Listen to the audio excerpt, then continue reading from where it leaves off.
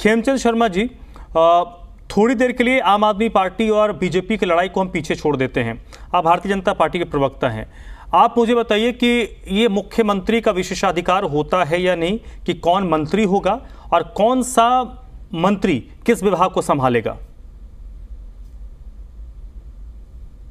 तो संविधान कहता है कि हाँ ये मुख्यमंत्री का विशेष अधिकार है। हम्म। और इस पे कोई आर्गुमेंट नहीं है और इस पे कोई डिस्प्यूट भी नहीं है। हम्म। लेकिन आम आदमी पार्टी अननेसेसरी अननेसेसरी ये बातें बनाती है अननेसेसरी ड्रामा करती है और जनता के सामने ये शो करना चाहती है कि देखिए हमारे काम नहीं हो रहे। मैं दो तीन सवाल पूछना चाहता हूँ हम्म। कि आपने मंत्रिमंडल फिर बदल मतलब मंत्रालय फिर बदल करने के लिए आपने कोई नया मंत्री नहीं बनाया हम्म। उन्हीं मंत्रियों में आपने जो मंत्रालयों का फिर बदल किया एक से लेके दूसरे को दिया दूसरे से लेके तीसरे को दिया ऐसा आपने करने की कोशिश की और वो फ़ाइल आपने एलजी साहब के पास भेजी। हम्म। एलजी साहब ने अगर कुछ समय लिया भी वैसे तो वहाँ से इंफॉर्मेशन आ रही है कि एक दिन पहले ही वो फ़ाइल अप्रूव हो चुकी है। हम्म। तो उससे काम कैसे रुका?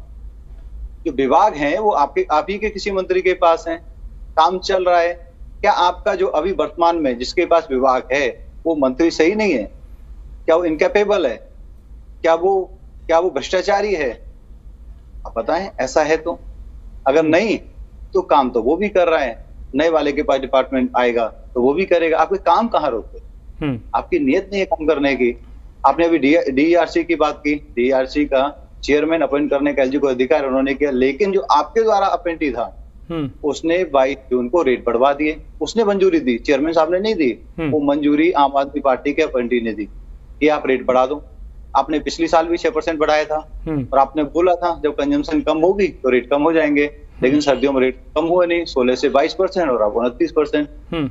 आप क्यों मचा रहे हो सीधा सीधा आप और आप आप आप और आप और आपकी पार्टी ये मान रही है कि इससे काम में कोई फ़र्क नहीं पड़ा और अगर एक दो दिन डिले हो भी गया तो इसमें इतना हो हल्ला मचाने की ज़रूरत नहीं थी। आप आप एक प्रोमिनेंट पत्रकार प्रोमिनेंट पैनल यहाँ पे है। मैं समझ नहीं पा रहा हम्म। कि अगर हम पाँचों मंत्री हैं हम्म। यहाँ पे बैठे हुए तो आज वो डिपार्टमेंट मेरे पास है और। कल आप सीएम हो वो आप प्रवीण जी के पास भेजना चाह रहे हो तो हम हैं तो आम आदमी पार्टी के हम्म।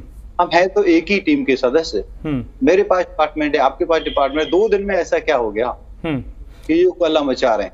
ये सारी चीज़ें ड्रामा दिखाती है ये सारी चीज़ दिखाती है इनकी नीयत खराब है।